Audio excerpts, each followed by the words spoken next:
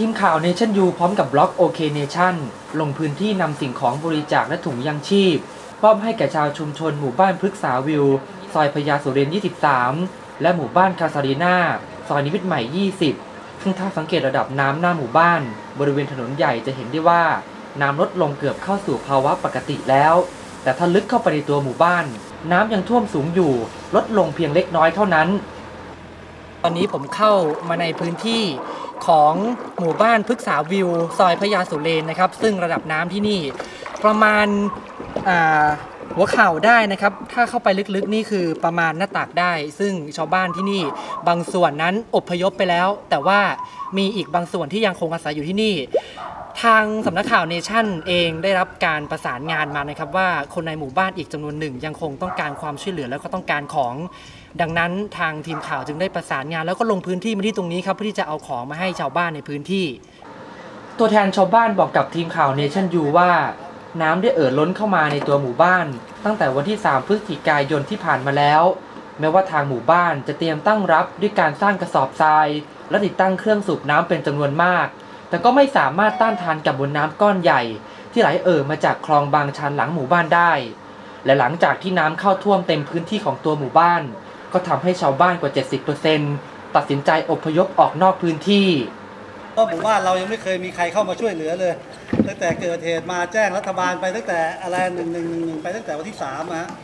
ยังไม่เคยมีหน่วยงานของรัฐเข้ามาดูแลเลยนี่เราเลยต้องช่วยเหลือตัวเองกันนะครับ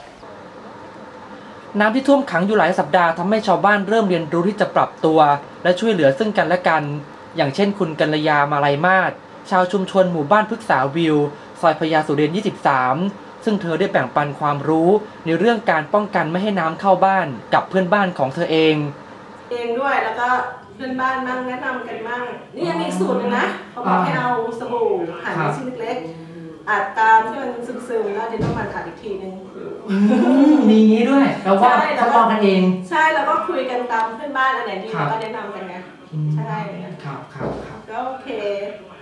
มีกับช่วยๆกันเพื่อนบ้านก็โอเค ไม่รู้จักกันก็รู้จักกันตอนน้ำท่วมนี่แหละอืมดีครับ จากนั้นทีมข่าว Nation U และ b l o อก OK Nation ได้เดินทางต่อไปยังหมู่บ้านคาซารีนาซอยนิมิตใหม่ 20 ซึ่งตลอดทางที่เราเข้าไปในตัวหมู่บ้าน พบว่ามีการสร้างสะพานให้คนเดินเข้าไปในตัวหมู่บ้านอย่างแข็งแรง ช่วยให้การเดินทางของคนในหมู่บ้านสะดวกมากขึ้น นี่แสดงให้เห็นว่าคณะกรรมการหมู่บ้าน มีการวางแผนช่วยเหลือลูกบ้านเป็นอย่างดี ในระหว่างทางที่รถบริจาคของคันนี้นะครับ เข้ามาในหมู่บ้านแห่งนี้ดูเหมือนว่าเสียงรอบๆหมู่บ้านนั้น เงียบแทบจะไม่รู้เลยนะครับว่ามีคนอยู่ แต่เมื่อเราเข้ามาถึงจุดตรงกลางหมู่บ้าน แล้วก็มีชาวบ้านคนหนึ่งนะครับขี่รถจักรยานยนต์ออกมาถามว่าให้ไปประชาสัมพันธ์ไหมหลังจากนั้นไม่นานครับประมาณ 3 นาที มีชาวบ้านออกมารับของบริจาคจากรถคันนี้ อย่างที่เห็นอยู่ข้างหลังเนี่ยแหละครับ ชาวบ้านที่นี่ยืนยันที่จะไม่อพยพออกนอกพื้นที่ เพราะพวกเขายังสามารถดูแลกันเอง และแบ่งปันซึ่งกันและกันได้ ก่อนหน้าที่น้ำจะท่วม ได้มีการเตรียมตัว ทั้งซื้ออาหารเก็บตุน และซื้อเครื่องสูบน้ำไว้แล้ว พวกเขาไม่เคยหวังพึ่งความช่วยเหลือจากภาครัฐ แต่เน้นการพึ่งพาตนเองมากกว่า เพราะว่าเราไม่มีที่ไป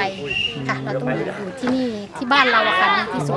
ไปที่อื่นก็ไม่อยากเป็นภาระคนอื่นนะคะเราต้องช่วยเหลือต้องตั้งลำถึงไม่มีตังค์ซื้อไดโวก็ต้องหาค่ะค่ะ เพราะว่าที่อื่นเขาเดือดร้อนกับเราก็ให้เขาอยู่ค่ะ พอดีเราอยู่บ้านได้เองก็ขอให้อยู่บ้านเราค่ะช่วยกันเพื่อนบ้านดีที่สุดค่ะ คิดให้ความเอื้อเฟื้อเป็นยังไงเห็นต้องเห็นใจกันตอนนี้ค่ะ ตอนที่น้ำท่วมนี่ค่ะช่วยเหลือกันตลอดเลยค่ะปัจจุบันระดับน้ำที่ท่วมขังอยู่ในชุมชนทั้งสองเริ่มลดลงเล็กน้อย แต่ชาวบ้านคิดว่ากว่าทุกอย่างจะเข้าสู่ภาวะปกติ ก็อาจใช้เวลายาวนานไปถึง 1 เดือน สิ่งที่พวกเขาทำกันได้ในตอนนี้ นอกจากการปรับตัว คือการให้กำลังใจซึ่งกันและกัน และเราจะฝ่าวิกฤตน้ำท่วมครั้งนี้ไปด้วยกัน พิพัฒน์ดัชนีกุลถ่ายภาพ ทันวิสิทธิ์เลิศบำรุงชัย ทีมข่าวมหาวิทยาลัยเนชั่น รายงาน